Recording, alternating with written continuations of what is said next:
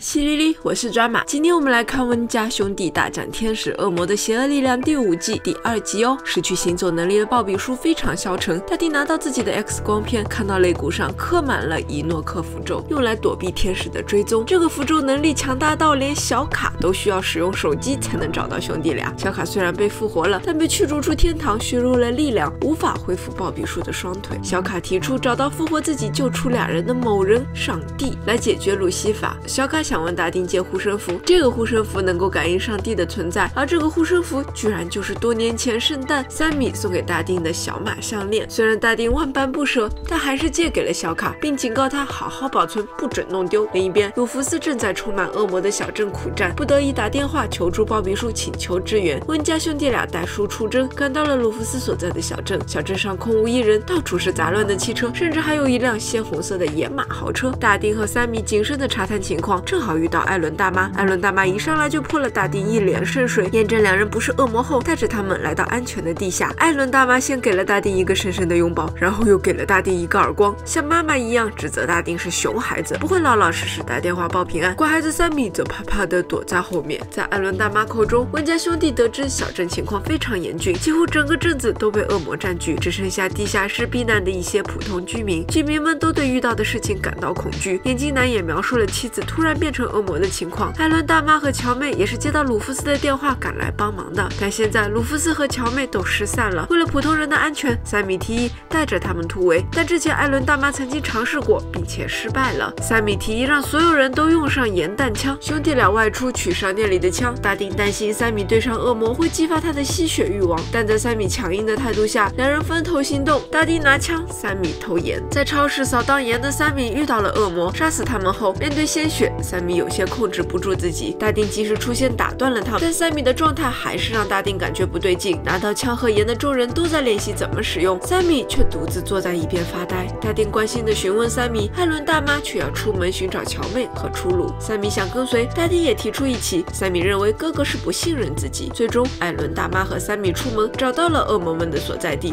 忽然，恶魔们出现，与艾伦大妈和三米打了起来。奇怪的是，被恶魔附身的乔妹却说艾伦大妈才是恶。魔眼壁纸，最后三米被黑眼鲁弗斯抓住，艾伦大妈则暂时逃脱。三米被困在符咒中，但黑眼鲁弗斯和乔妹却在不断用圣水和盐对付三米，仿佛三米才是那个被恶魔附身的人。这一切都透着诡异。艾伦大妈独自回来，大丁立刻就要出门救弟弟，但他也不忍心丢下这对无辜的居民。三米还在被黑眼鲁弗斯和乔妹困住折腾。忽然，他看到门口出现了之前在艾伦大妈庇护下的眼镜男。眼镜男缓慢地转动自己的戒指，原来在鲁弗。福斯和乔妹眼中，三米才是黑眼睛的恶魔。艾伦大妈把和乔妹相遇时奇怪的情形告诉了大丁，两人都感到不对劲。大丁不得不追本溯源，通过神父和居民的叙述，小镇的怪异是从水源被污染开始的。当时还出现大规模的流星。大丁通过描述从圣经中找到了对应的情况。索达内小镇奇特的情况对应的是天启四骑士着火的流星降落到江河，接着人类开始死去。这一切都是天启的预兆，也是天启四骑士出现的前兆。而小镇上停着的鲜红色野马车，代表这次出现的是骑红马的战争骑士。他让小镇居民分成两派，打得你死我活。其实小镇里根本没有任何恶魔。夜晚，眼镜男找到三米，坦白自己就是化成人形的战争骑士，施点小幻术就是为了看人类自相残杀。战争骑士指出，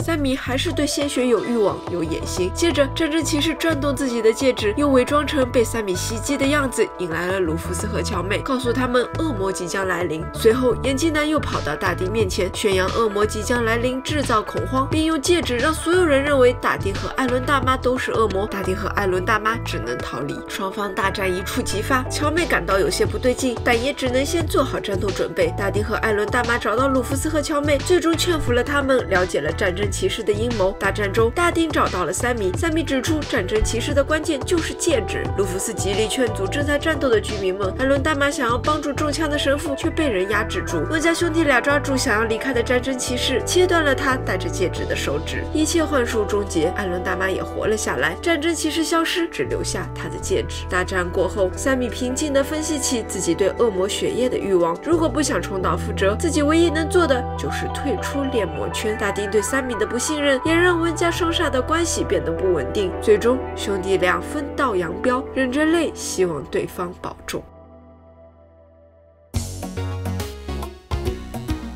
如果你喜欢这一期的话，记得按赞和分享哦。